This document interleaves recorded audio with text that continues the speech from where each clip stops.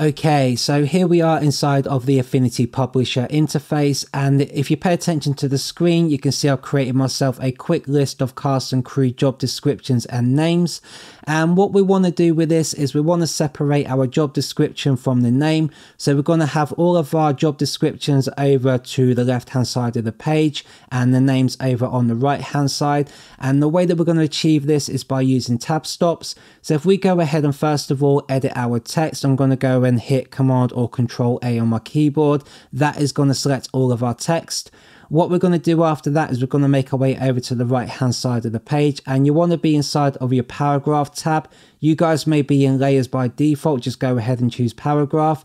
Then inside of here, you want to find the option that says tab stops, which is right there. Once you've found that, go ahead and just open that up. Inside of here at the moment it says no tab stops so all we've got to do is add one ourselves and the way we'd do that is by using this button right here so go ahead and add a new tab stop then what we need to do is just change this default number from 30 millimeter to anything that you would like to use so I'm working in millimeters on this document, so you guys may see inches or points and pixels inside of here. All you got to do is just change the number to be something that you are happy with. But you can go ahead and change this later on if you're not happy with what you put as a base. So for now, I'll go ahead and just put in 80 to be quick. And once I hit enter on my keyboard, it doesn't look as though anything has changed. However, if I now start coming in here and separating all of these names using the tab button on my keyboard, I'll go ahead and just hit tab on Leo. You can see I've now got this big gap right here in between the job description and the name. So I'll go ahead and make my way through the list and just hit tab on the keyboard on each one of these names, just until I've got all of these names over to the other side. Okay, so I've now moved all of my names over to the right hand side using the tab button on my keyboard and now I've deselected it we can see what we've got. So this right here is the kind of thing that you would see at the end of a movie in all of the credits for the cast and crew.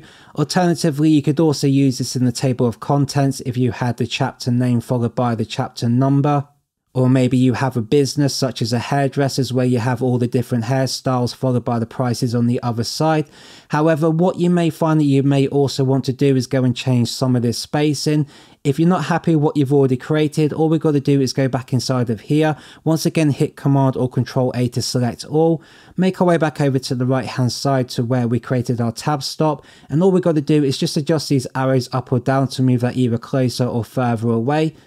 But just keep in mind, if you go a little bit too big with the numbers, then the names will start separating onto a separate line, as you can see right here. So you may want to go ahead and just bring that back to make sure it fits on your document.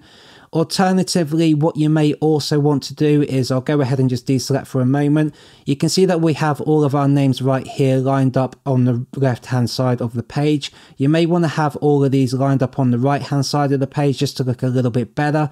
If that is the case, all we've got to do is go back into our text once again. We'll go ahead and select all of that. Then just go back over to the right hand side and just in this drop down menu right here next to our default spacing, you're just going to change from the left over to the right and at the moment, it's just moved all this back over, but all we've got to do is just adjust this spacing and just make that go all the way to the other side of the page. As you can see, it started separating once again. Just bring that towards the edge, just somewhere you're happy with, and then I'll deselect that so we can see what we've got. And that already looks a lot better in my opinion, so that is the way that I'd personally have it myself. Another thing that you may want to do is use those dotted lines in between the job description as well as in names. So if you want to go ahead and do that, we'll go and just double tap on here again and select all of the text make our way back over to the right hand side. This time round, instead of changing from the left to the right, we'll go and choose the drop down menu next to that on the right hand side. And inside of here, we're going to choose Glyph. And once we've done that, you can see we have all of these lines right here, all these dotted lines, sorry, which are going from the job description to the names.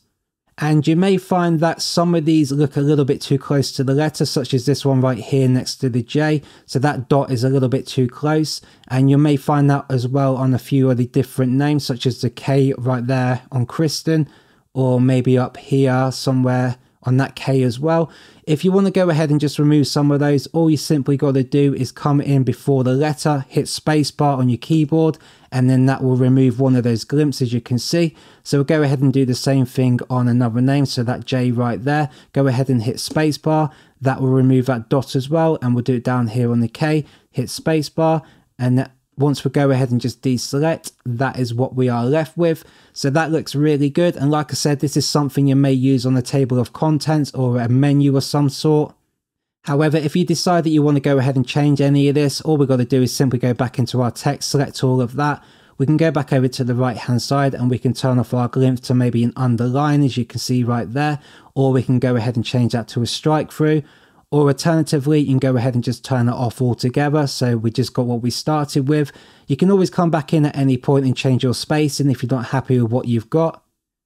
Okay, so before I go ahead and wrap this video up, I just want to mention one more way that you can go and change the spacing on your text. So if you decide that you don't want to use the arrows right here going either up or down, or you don't want to double tap and type this in with your keyboard, another way that we can do this is by using the ruler. So if we make sure we got our text selected, up on our context menu bar on the top right hand side, we have this option right here that says frame text ruler go ahead and just turn that on and then you can see we have this ruler now appear on top of our text. So all we got to do is just drag from this corner right here and once you start dragging that it'll start moving the text. At the moment I haven't selected all this text so nothing is happening. So I'll go ahead and just put that back for a moment. I'll hit command or control A to select all my text. Once again, I'll just start to drag that over and you can see how it now starts moving it closer to our job descriptions. So you can get a lot more precise if you want to use the ruler just to make sure you get the exact spacing that you are going for. Alternatively, we can also do that from the other side we can drag the job descriptions closer to our names. It's entirely up to you what you would like to do with this, but that really is how easy it is to use a tab stop function inside of Affinity Publisher. So I hope you found today's video useful. If you did, then please go ahead and hit that like and subscribe button as that really helps me out with the YouTube algorithm and helps other people find my content. But for now, I hope you have a great day and I will see you in the next video.